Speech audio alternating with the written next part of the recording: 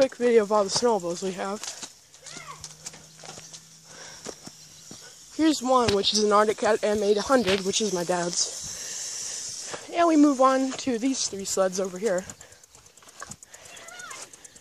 This is a Yamaha. Zoe, shut up! This is a Yamaha Mountain Max that runs awesome, and that's my sled.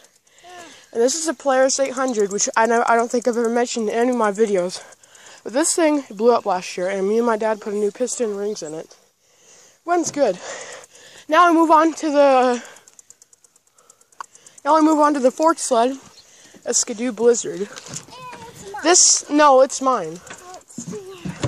Okay, uh, this is also another one of my sleds. You guys might look at it and think, oh, that thing's a piece of junk.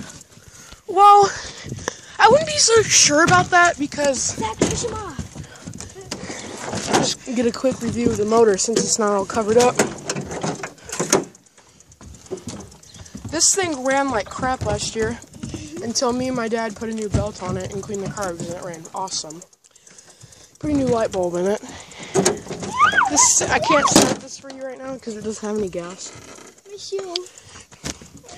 There's that. And this right over here, we're moving on to our fifth sled, which is a uh, Yamaha Enticer 440.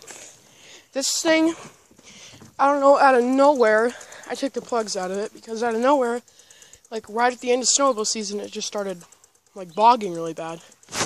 I think that one needs a new crank seal. There's a hood for it. Okay, now we're to move on down to here.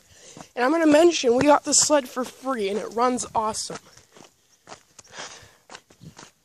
We're to move on down here. I'm simply going to go inside my garage. Kind of probably dark in here, but this is a Skidoo Summit. Wait, I think, what was it? Okay, just move that out of the way. This, I don't really know if you can see it, but this is a Skidoo Summit 500. Now, we got this for free, we got this for free from my mom's aunt. And some, she said that someone blew it up, but we pulled on it. I mean, it wouldn't really, it, we put some gas down the spark plug chamber, it fired right up. Put some gas in the tank and it ran awesome. But it does have a slight leak in the carburetor.